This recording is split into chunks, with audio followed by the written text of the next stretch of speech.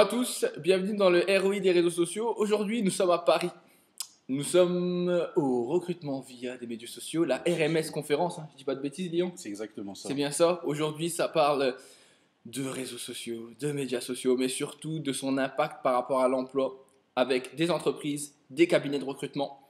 Et aujourd'hui, de par la même, j'ai eu l'occasion de rencontrer quelqu'un que j'apprécie beaucoup et que je lis Merci. énormément, Monsieur Lilian Maoukou. Comment vas-tu Lilian? Euh, très bien. En forme? Euh, très en forme. Donc, on est sur Paris avec euh, pas mal de personnes donc, issues des, des RH, du recrutement, mais aussi du marketing. On est là donc pour partager des retours d'expérience. Alors, plutôt que de vous parler de l'événement aujourd'hui, ce que je vais faire, c'est plutôt m'arrêter sur Lilian.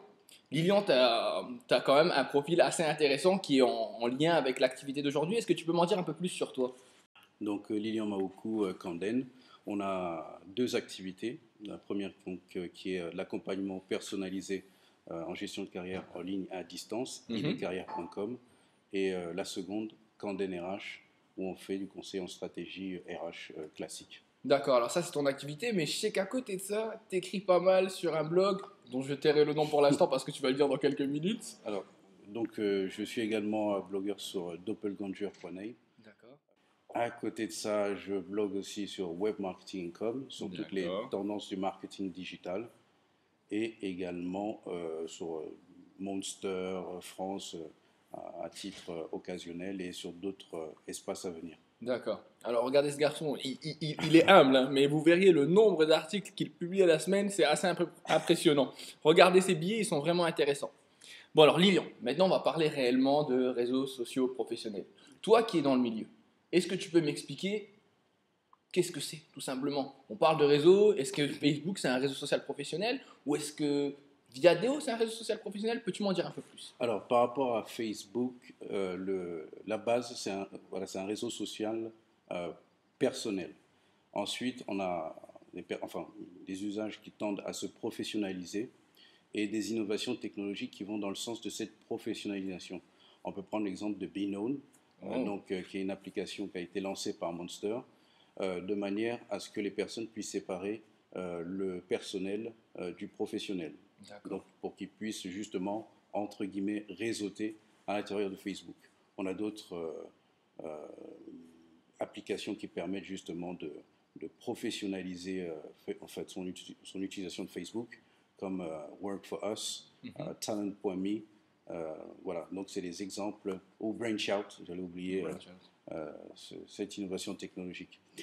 Après, à chacun de, de faire le bilan un peu de, de ses aspirations dans un premier temps et de faire le bilan de ses préférences. Donc, essayer d'associer aspiration et préférence euh, de manière à avoir le, le maximum de cohérence. Dans, Au sa- dans son image numérique, quand tu parles de cohérence? Alors, dans son image numérique, initialement, euh, on a beaucoup, enfin, personnellement, j'avais beaucoup parlé d'e-réputation. Mhm. Euh, et avec euh, l'ensemble des interactions, l'ensemble de- des expérimentations.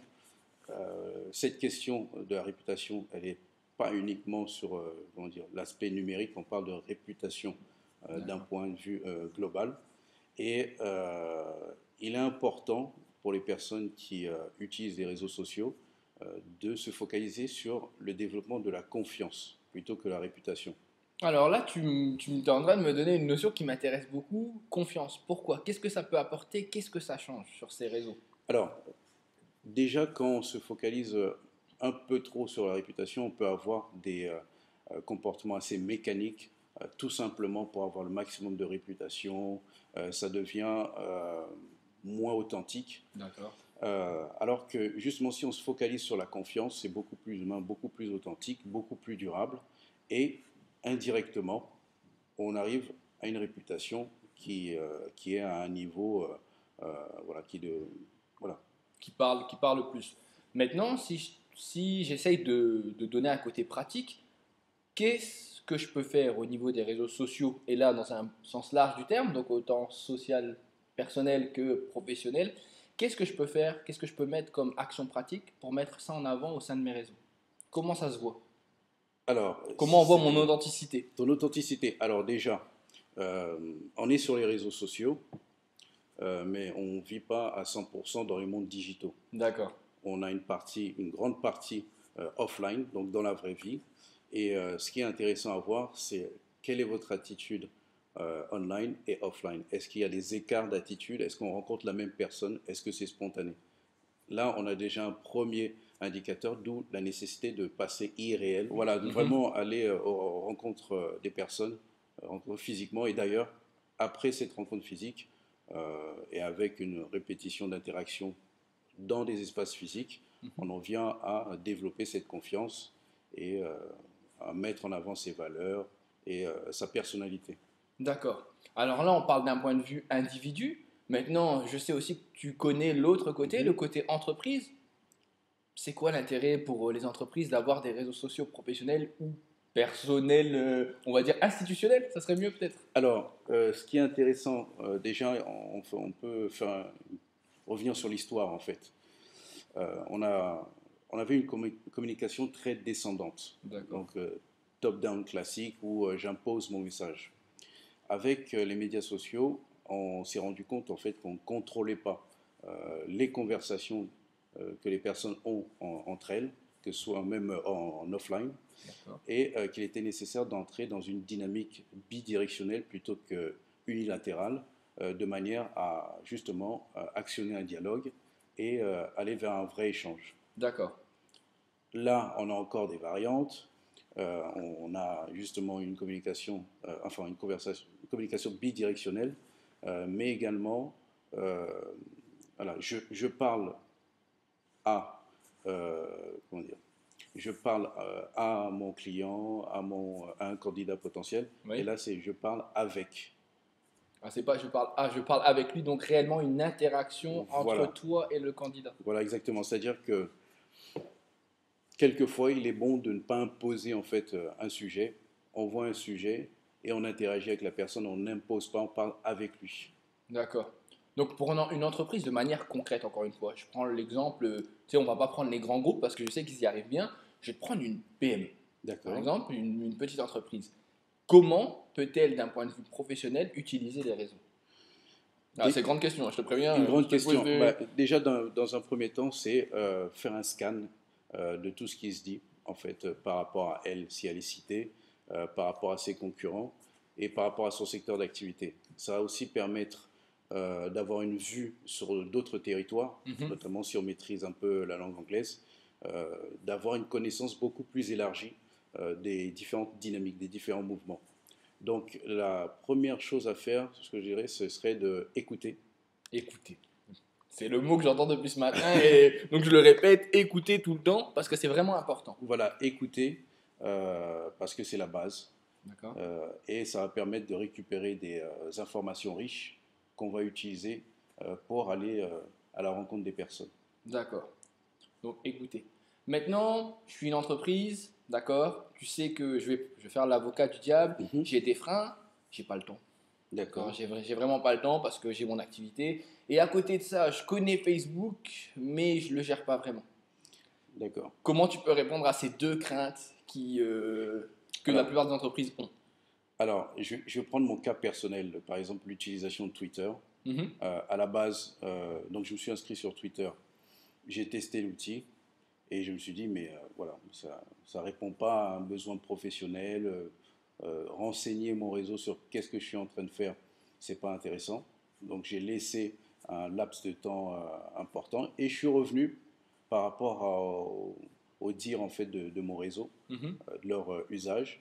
Et finalement, c'était quelque chose d'intéressant. Donc ça veut dire que il faut expérimenter pour avoir d'autres éléments positifs qui vont favoriser justement l'adoption. Ne pas s'arrêter en fait au descriptif du, euh, de, de l'outil, mais aller expérimenter, même si c'est sur quelques jours, aller se renseigner et euh, adapter en fait aussi euh, son, comment dire, son usage. Pas vouloir euh, tout de suite être en mode expert, avancé, D'accord, ok. multiposte, etc.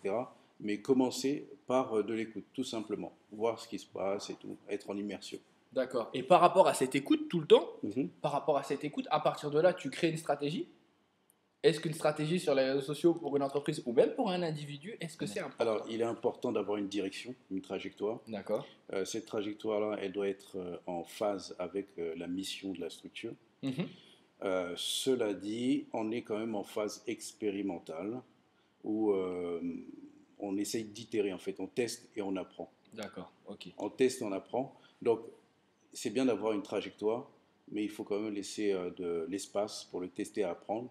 Et euh, qui sait, on peut trouver une trajectoire tout euh, aussi intéressante via ce processus itératif. Bon alors là, je t'embête un petit peu, hein, tu sais, tu- je le fais exprès pour, pour ma dernière question. Tu viens de me dire on teste. Oui. Je suis une entreprise, tu sais que mon image est importante. Oui. Donc si je teste, je vais peut-être faire une erreur. Est-ce que l'erreur doit... Alors, euh, je vais euh, très rapidement répondre à cette question. Alors, ce qui est très important avant euh, de tester, Mhm. c'est de comprendre en fait, euh, d'avoir le, le bon état d'esprit, parce qu'on peut arriver sur Twitter, Facebook ou d'autres réseaux sociaux, médias sociaux, euh, sans pour autant en fait avoir le bon état d'esprit, en pensant qu'on peut euh, entre guillemets spammer ou euh, Mm. qu'on peut imposer un message et tout. Il est important de verrouiller euh, l'aspect état d'esprit et shift culturel à avoir avant D'aller- tester. donc avoir un niveau d'éducation, d'information suffisante sur la connaissance de l'écosystème et avoir le bon état d'esprit. D'accord. Lilian, dernière question, après je te laisse aller manger, parce qu'on n'a pas encore mangé, hein, il faut y aller après. Dernière question. Si tu avais trois conseils à donner, et là euh, je vais te demander deux fois la question, trois conseils à une entreprise, trois conseils à un individu par rapport à sa présence sur les réseaux professionnels, ça serait quoi? Alors déjà, dans un premier temps, la cohérence. Donc, euh, comme on, on- on l'a vu en début euh, d'interview, euh, on a les aspirations euh, et euh, comment dire, le- les préférences en termes d'outils, donc qui amènent euh, à la cohérence. C'est le premier point. Le deuxième point, c'est que on va avoir plein d'études de cas, plein d'exemples d'usage, mais euh, qui jouer le- en fait le- le- la, la carte de la duplication euh, de, pratiques euh, qui fonctionne très bien dans un- espace, euh, ne va pas, ça ne va pas fonc- forcément fonctionner en fait chez soi. D'accord. Et le dernier point, c'est de tester, apprendre, on va revenir dessus, parce qu'il n'y a que euh, comme ça en fait qu'on peut euh, en savoir un peu plus par rapport à ses spécificités euh, propres. D'accord. Ça, je présume que c'est aussi bien personnel que pour les entreprises. Voilà exactement. Merci Lilian. Ah ben, Merci, beaucoup de, de m'avoir donné du temps pour cette interview. Je te dis à très bientôt. À très bientôt. Bonne chance pour la suite et peut-être, si je peux, et si je travaille mon anglais à la semaine prochaine. D'accord? Au revoir. Merci beaucoup.